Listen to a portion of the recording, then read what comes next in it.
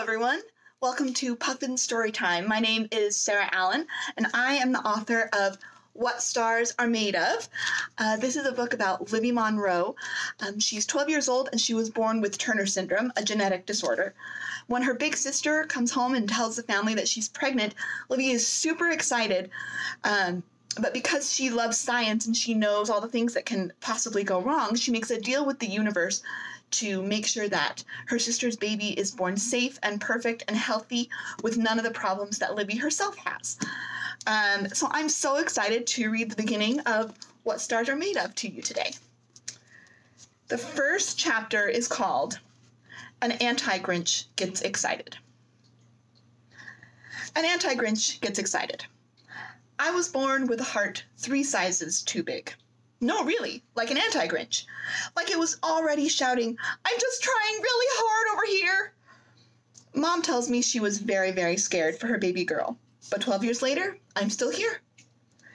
There were a whole buttload of other weird things happening to me when I was born, too. But it's not like that's what I go around thinking about all the time, especially on a day when my mom and dad tell me they have a surprise unbirthday present waiting for me after school. This is what happened when I woke up this morning. Mom made chocolate malt meal for breakfast. That is my all time favorite food. Dad looked up from his book and grinned at me, a mysterious grin like he was hiding a secret. Then Mom put a bowl of the delicious, steamy Malt-O-Meal in front of me and said, Guess what, Libby? I was already on my third bite, so I had to swallow before I could say, What? We're not going to tell you what it is, but there's going to be a surprise waiting for you when you get home from school today. I put down my spoon. You're buying me a puppy, aren't you? Dad laughed, looking back at his book. Honestly, I think you'll like it as much as that. So it was something good, really good. Maybe a safari in Botswana. Maybe it had something to do with my big sister Nani, who lived in Chicago with her husband Thomas. Maybe it was a pet iguana. A pet iguana would be one of the most unique pets ever. I would name her Rosalind after Rosalind Franklin.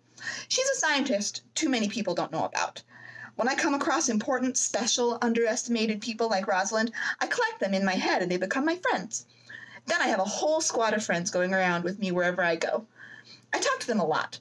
I ask them questions, I tell them what I'm worrying about, and I try to figure out what the best of them would do. So, Rosalind the iguana would only be one of many awesome names I could choose from.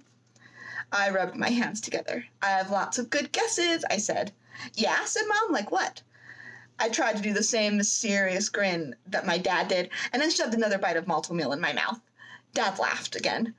Mom did a small hop as she walked back over to the sink. I bounced in my seat a couple times, feeling almost like it really was my birthday. I like watching my mom in the kitchen. It's like watching those YouTube videos of Michelle Kwan ice skating in the Olympics. Mom has broad shoulders and round, strong arms, and sometimes she says she feels stocky or ungraceful, but she's not like that in the kitchen. In the kitchen, she's a ballerina. Mom also has one, short curly hair that's graying on the sides. Two, a wide smile. Three, her own bakery that she started when I was four years old. She told me she'd wanted to start one for a long time, but she was scared. She didn't really know how to do the business stuff. When I was four, Dad told her she should just do it, totally go for it. So she did. Dad is an art teacher at the high school. Once I'm in ninth grade, I could maybe take a class from him, except I'm probably the worst person at art in the whole school. I'm not so great with fine motor skills. That's okay though. I'm better at using microscopes and not being one bit afraid that time we dissected cow eyeballs. Dad also has one, a bald pate. Pate, one of our hard reading words from English that's basically a fancy word for the top of someone's head. Two, round glasses. Three, at least 20 books about Vincent van Gogh. Four, a voice that is quiet but never ever shaky. My parents are pretty smart and good at knowing the best surprises. Chapter 2 My best friend is a room. On most days, I am a front row sitter, a note taker, a volunteer whiteboard writer, an answer knower. On most days, I never have to be told to stay still, at least not more than once except on days when my mom and dad tell me that there is a surprise waiting for me. Then sitting still is like trying to wash a cat. Except in Miss Trepke's class. Everyone sits still in Miss Trepke's class. It's only the third week of school, but we all know that. Miss Trepke is tall, taller than mom and dad by at least half a foot, and she is skinny. She has a long nose and long fingers and near black hair cropped short in a very clean bob. Her face is smooth and pale white like porcelain, and she has a way of looking at you like she's really seeing you, like she knows what you're like she knows what you're thinking and what's really going on inside. So I stayed in my seat, even on after school surprise day. So it's not a puppy. Maybe a kitten? Maybe it's a vacation, a trip to NASA headquarters, a trip to Antarctica to see, to see seals and penguins and Libby. I jumped, and a couple of kids behind me giggled. Miss Trepke was standing right in front of me. I'm sorry, Miss Trepke, I said. Could you please repeat the question? I'd managed to stay in my seat, but the attentive listener part of myself wasn't doing so great. Who said you must do the thing you think you cannot do? The answer knower wasn't her normal self either, and I had to say three words I don't like to say. I looked down and folded my hands. I don't know. Miss Trepke looked at me for a few seconds, then stepped to the front of the classroom, right in front of the world map. In Miss Trepke's class, we do American history. History is a medium subject for me. Not the best, but not the worst. I like that it's about remembering and memorizing things. I'm good at remembering things like dates and presidents' names and every muscle in your leg. So that part is good. But it's not like in science, where it's remembering and discovering weird and surprising new things that might one day help the world. I'm not really sure what people can do with history.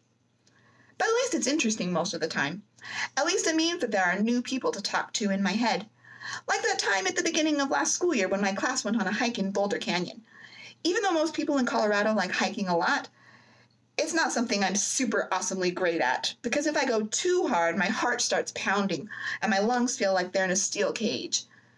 Basically, on that hike, a lot of the other kids were going faster and faster, so I stayed toward the back, where some of the slow adults could see me.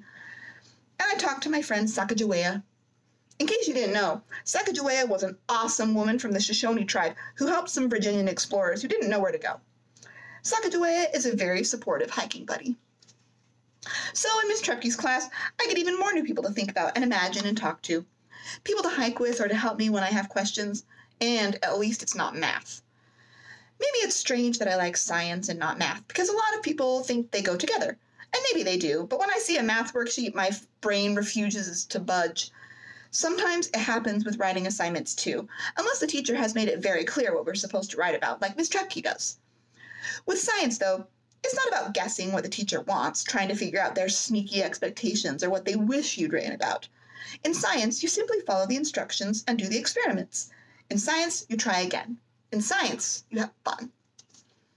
At the front of the room, Miss Trepke folded her long, elegant fingers together. It's time to start discussing your semester projects, she said. Groans from the back row. Dustin Pierce, the loudest groaner, said, But it's the beginning of the school year. Miss Trepke stood still until the groans stopped. I am aware of that fact, Mr. Pierce, she said. However, these are not last minute throw together projects. You will have to work on these consistently throughout the first half of the year if you're going to get the grade you want. More groans. Miss Trepke folded her long fingers together again, and the scuffling and whispering stopped quickly.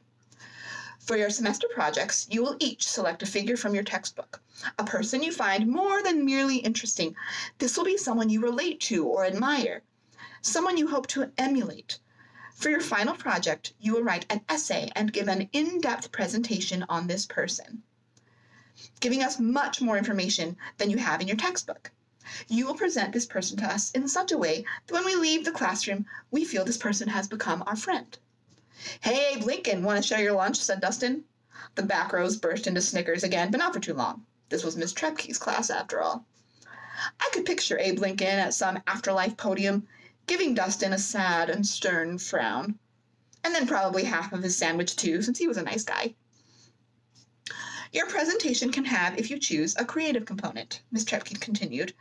This could be a poem, a song, piece of art, a dance, whatever you choose. This creative component, or however you choose to present your chosen historical figure, will demonstrate what important things you feel you have learned by spending the semester researching this individual. Dustin Pierce raised his hand, a rare occurrence. Can we make a movie? Yes, you may, said Miss Trepke. Dustin high fived the pudgy boys on either side of him. Then it was my turn to raise my hand. I like to know about each assignment as far in advance as possible so I can plan and prepare and so I know how much time it's going to take. What will next semester's project be? Miss Trepke looked down at her hands, and there was a flicker at the corner of her mouth that might have been a smile, although I didn't think I'd said something funny. Then I heard the whispers behind me, and even though I couldn't quite hear what they were saying because I don't hear so great, they reminded me that probably nobody else cared about next semester's project already. I thought I maybe heard Dustin mumbling something that started with an F, which is the first letter of the name he used to call me. Or maybe they weren't talking about my question at all. It didn't matter. I looked back at Miss Trepke. Next semester's project will be the same, except you will select someone not found in our textbook. I knew immediately who my presentation would be about next semester. Choosing someone not in our book was going to be even easier than choosing a textbook person because I'd already started studying. I'd been reading about my person since I'd first heard her mentioned in a documentary on the National Geographic Channel, the channel I always watch whenever I stay homesick. That's the way you learn about things they don't teach you in school. Everything from vampire squid to the scientist from the early 20th century. Her name was Cecilia Payne Gaposchkin. She was an astronomer. What? Dustin said. But how do we know who to study if they're not in our textbook? Miss Trepke put her hands behind her back. You have vast resources available to you, Mr. Pierce, including the internet and, dare I say it, the library. She put a hand on our textbook. In fact, this project is inspired by a real life scenario. The Smithsonian Institute in Washington, D.C. is hosting a contest where students from all over the country write a letter about a lesser known or underrated woman from American science history. They're creating a Woman in STEM exhibit with wax figures representing the underrated women. For the purposes of this class, I think it's a valuable exercise to research those whose contributions to our society are equally as important as the contributions of those who might get more acclaim. I put the clicking end of my pen between my teeth. The wax figure of Cecilia was beautiful in my mind, and I could see her smooth dark hair and pale piercing eyes. Writing a letter about her would be totally easy. I looked around at the other kids, wondering who they'd pick from outside our textbook. We're already one step ahead, aren't we, Cecilia? What would you think of bringing in star-shaped Rice Krispie treats for the presentation? I could imagine those clear eyes twinkling in response. Dustin opened his mouth, probably to complain again, and I opened mine to ask if seventh graders were allowed to submit a letter to the Smithsonian contest, but right then there was a knock on the classroom door. It was Miss Lopez, the principal, and she had a girl with her. The girl had a round face and the longest, thickest hair I had ever seen. She would be the tallest and I thought the most beautiful person in our class. I rolled my pen around my desk, smiling. How many wonderful surprises could fit in one day? Excuse me, Miss Trepke, said Miss Lopez. May I interrupt for a second? Please come in, Miss Trepke said, and stepped behind her desk. Miss Lopez brought the girl to the front of the room. This is Talia Latu, she said. She said it with the Lee emphasized, like Talia, not Talia. She'll be in Miss Trepke's homeroom with many of you and in this history class. Please make sure she feels as welcome as you'd hope to be. Lucky for me, I was in Miss Trepke's homeroom, so that meant two classes with this new girl. We are excited to have you in our class, said Miss Trepke. The only open desk in the room was the one next to me, and Miss Trepke motioned to it. Please take a seat, she said. For a moment, I worried Miss Trepke would assign to Talia some kind of buddy or partner. Working with partners made my stomach flutter, because I always ended up worrying more about being a fun partner than about actually doing the assignment. I shouldn't have stressed about it, though. Miss Trepke simply made sure Talia was settled and had her materials, and then kept on with the lesson. She did ask Talia and me to swap phone numbers so Talia could call someone if she needed help understanding her catch-up work or something, but that was it. I should have known. Miss Trepke knew we were in seventh grade, not third. Later, when the bell rang, Miss Trepke spoke over the jostle and bustle of packing students. Miss Latu, if you will come see me for a moment or two, I will catch you up on the latest assignments. And Miss Monroe, I stopped. She was looking at me down her long nose. I suggest rereading the section on Eleanor Roosevelt. There's a quote there you might find interesting.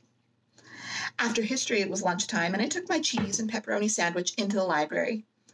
I eat lunch in the library a lot.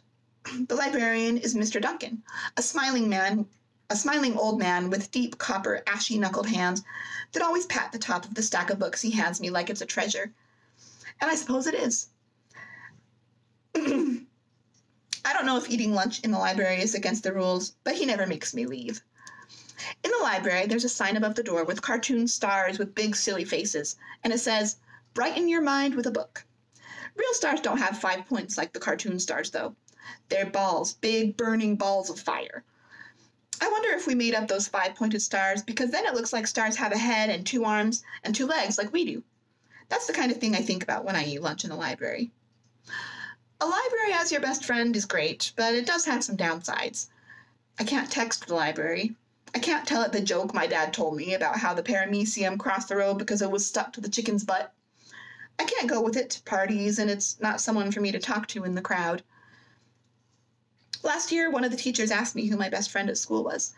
I had a friend in third grade who would sometimes come over to play, but she moved away the next year. I told him that my new best friend was probably the library. Doesn't even bother me to read about spinal fluid or fungus, or sometimes Eleanor Roosevelt, who actually seems pretty cool, while I eat. When I told my teacher that, he looked at me for a moment with a sort of saddish face, almost like he was going to pat me on the head. And then he told me I should try playing outside with the other kids at lunch. That's what made me realize maybe I shouldn't tell people that the library is my best friend, even though it is. That is the first two chapters of What Stars Are Made of, and you can hear more stories at puffin.co.uk. Thank you for joining.